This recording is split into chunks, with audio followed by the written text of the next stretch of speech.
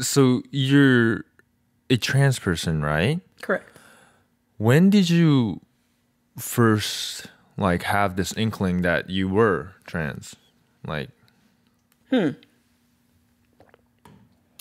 Uh, I sort of knew something was up when I was a kid, yeah, basically. yeah, Um, I don't know. I always like identified more with like masculinity than femininity, but like didn't toss femininity to the side really.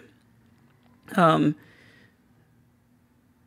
when me and my sister would be like playing with whatever like dolls or something growing up or just like playing like playing the lion king Yeah. if you will Yeah, yeah, yeah. like i would always be the boy and she would be the girl and i don't know it's just that that funny thing of being a, a tween or an, a teenager and um, going through a tomboy phase yeah. as my mom thought it would be but it wasn't a phase it was like me expressing identity Right, so right. um, i knew pretty early on So when did you come out? Well, I came out as um, being queer at 18, 17, 18. Yeah. Well, my- I mean, my mom already knew. Oh, was- she did. Oh, yeah. uh, She she told me actually. what? She didn't she didn't like pull me aside and was like, "By the way, you're a homo." But she I, me and my best friend and roommate uh, came home to visit after we moved to Philly. yeah. we weren't together when we moved. We were actually just friends. But Okay. we wanted to be roommates and then something happened and next thing you knew, we were actually in a relationship. Sure.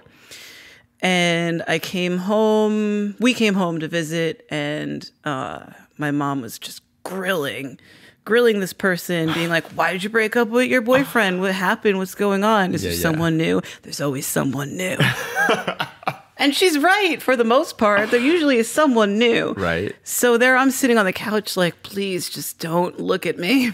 Oh my god. And my friend kept like running away to the other room, being like, stop asking me all these questions.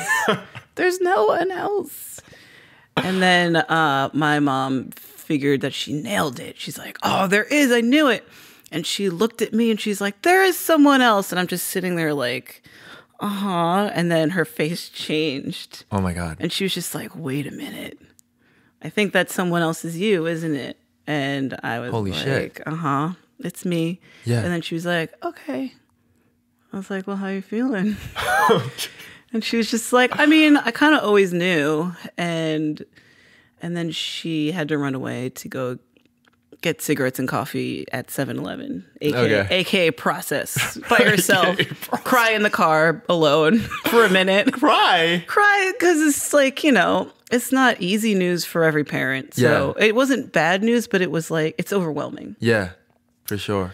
Uh, especially if you kind of knew and then mm. it's like reality mm-hmm. so to this day she's been nothing but supportive and uh positive positive about everything and yeah That's really awesome that yeah your mom is I super feel supportive. super great i mean she wants me to dish about relationships all the time Who- Hey, my mom too. yeah, really? Yeah. yeah. that's cool. I'm like, mom, I really don't have anyone. She's like, you must. She wants to hear all the hot goss, right. like all the time. It's Yeah. pretty funny. Yeah. Um, and she's good. She's like, I'll be telling her a story, and she'd be like, "No, really? Get the fuck out of here, New York." I grew up with the word "fuck" like every other word, so uh, she's. It's funny, yeah. Yeah. Yeah.